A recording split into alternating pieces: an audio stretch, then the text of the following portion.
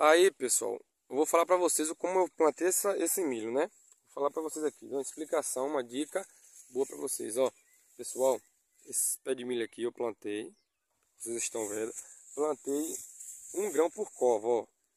O espaçamento dele são apenas um metro de uma rua para outra, como vocês estão vendo, né? Cada cova tem um pé de milho, né? Porque se você plantar até dois, dois grãos por cova ainda pode, mas passou disso, vou colocar mais de 2 grãos por cova, já puxa a vitamina um do outro. O que, que acontece se isso ocorrer? O pé de milho vai ter a tendência de crescer fino, com a palha amarelada, sem vitamina nenhuma. Então não vai poder, então o milho crescendo assim, ele não tem como passar vitamina para as espigas, quando ele soltar as espigas, pessoal. Né? Olha a diferença desse pé de milho aqui para aquele lá, vou mostrar.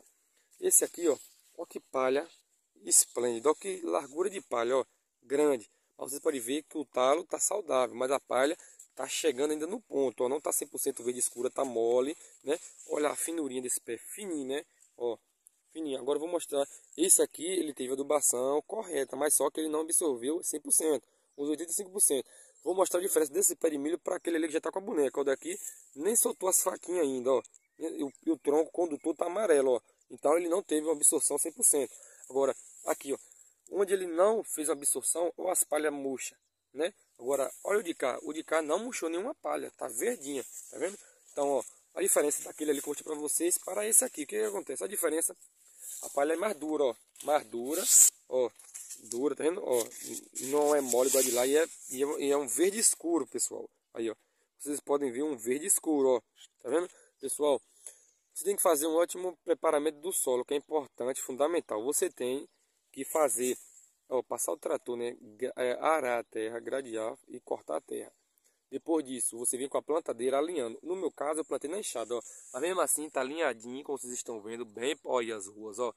Bem, ó, bem alinhado, né? Ó que os pés de milho é excelente, bonito, né? Mas eu plantei, eu coloquei uma linha e plantei na enxada. Sofri muito, né? Mas a gente tem que trabalhar bem, tem que sofrer. Vou passar aqui na outra rua para mostrar para vocês, ó. Aí, ó, a mesma coisa, ó. Ó, Olha que, olha que espécie de milho. Cheio de vitamina, ó. Cheio de vitamina. Bem desenvolvido. Você já soltando as bonequinhas também, ó. Tá vendo, pessoal? Então, aí continuando a dica. Você tem que fazer a preparação do solo, né? Que é arar, gradear, né? Se você for fazer de gotejamento a sua plantação, você tem que fazer desse jeito aqui, espaçamento. Que as palhas, ó, já tá quase encostando uma na outra, né? Então, não vai ter problema encostar porque o espaçamento aqui já é um espaçamento adequado, é o espaçamento certo, né? Você fazendo isso, pessoal, aí quando o milho nascer, né, com 20 dias que ele nascer, você faz adubação com a ureia, né? Aí na segunda cobertura, depois de, de seus 35 dias, né, após a primeira aplicação, né, você é, aplica o, o, o NPK, que é o 4148, né? Que é para fazer isso aqui, ó, para fazer o milho passar a vitamina dele todinho do tronco para para as espigas, tá vendo? Então você fazendo essa segunda aplicação, as palhas vai estar tá assim, ó. Olha que perfeição de milho, ó. Tá vendo? Bem desenvolvido, tá vendo? Ó, que pé de milho fundamental. Ter o cuidado, o manejo certo é por conta disso aqui, pessoal, ó. Ó, que pé de milho saudável, 100% saudável, ó. Cheio de vitamina, ó, as palhas, a da palha desse milho, ó. Cheio de vitamina, né? Então, ó, aqui a bonequinha começa daqui e termina aqui. Então ele tem o que? Aproximadamente um palmo e um palmo e quatro dedos, só a boneca.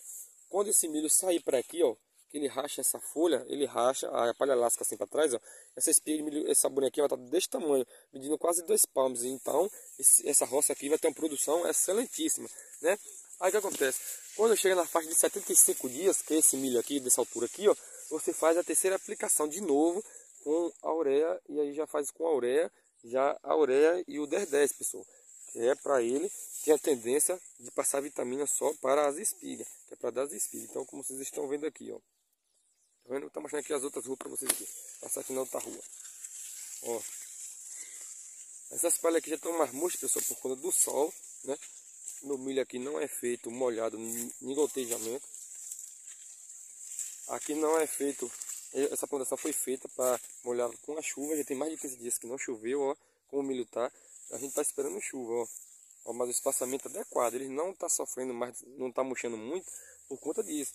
E eu fiz adubação neles.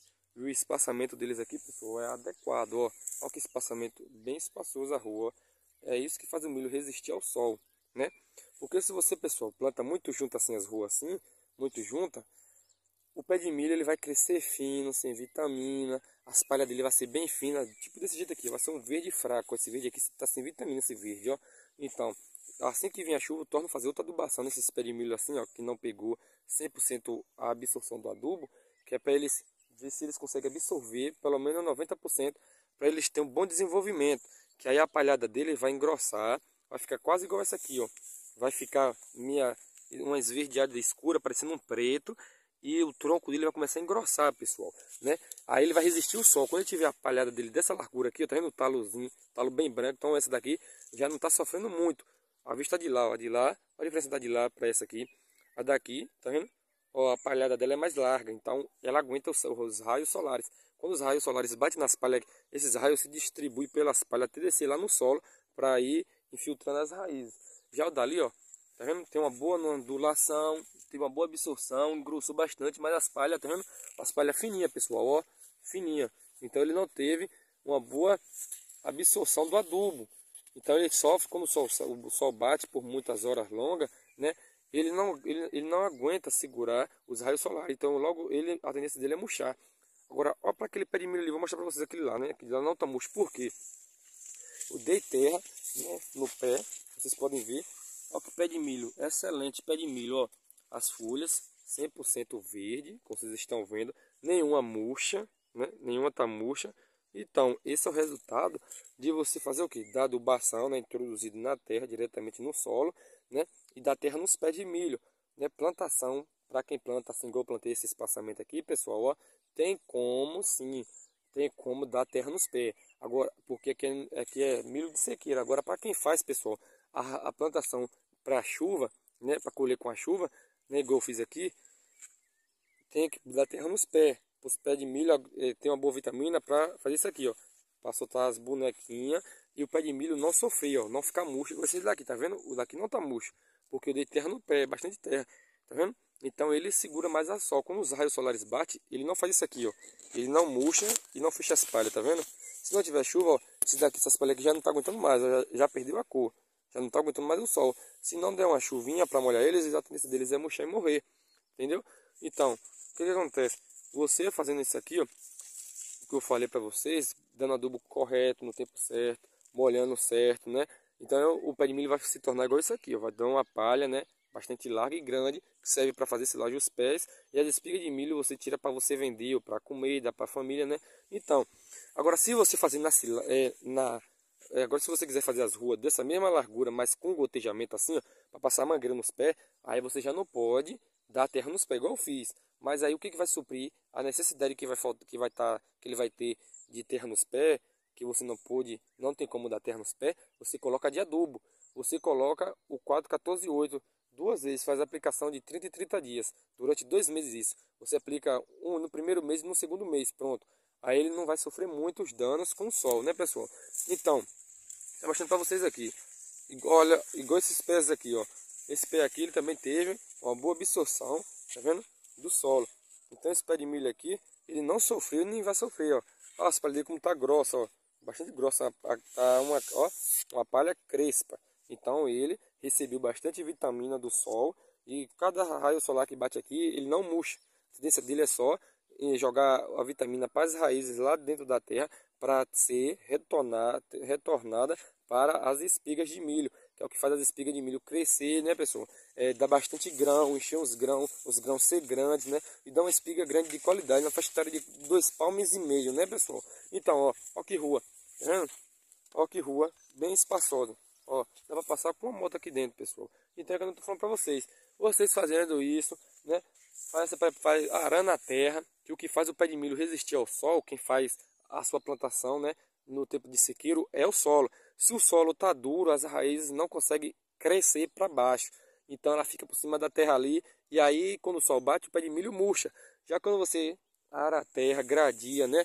E você faz o alinhamento perfeito aqui, você puxa a linha, né? Você que planta com a plantadeira manual, né? Aí você tem que puxar a linha e fazer isso aqui. Aí quando você faz isso aqui, ó, aí os pés de milho não murcha, pode vir o sol forte como for, os pés de milho não murcha. Por que, que não murcha? Porque você gradeou a terra, a terra está fofa, e aí no tempo da chuva, logo quando você plantou, o pé de milho dentro de 20 dias, ele cresceu, cresceu muito. Então, ele fez uma boa, e você adubando ele, ele vai ter uma boa absorção do solo.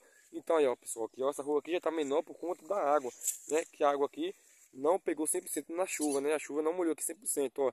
Mas vocês podem ver como eles estão menores. Olha o espaçamento das ruas, tá vendo?